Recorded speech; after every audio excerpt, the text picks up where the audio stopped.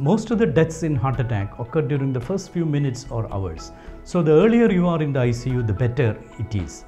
Moreover, the treatment of heart attack also will be maximum beneficial if you start the treatment very early. So call doctor as soon as you have a suspicion.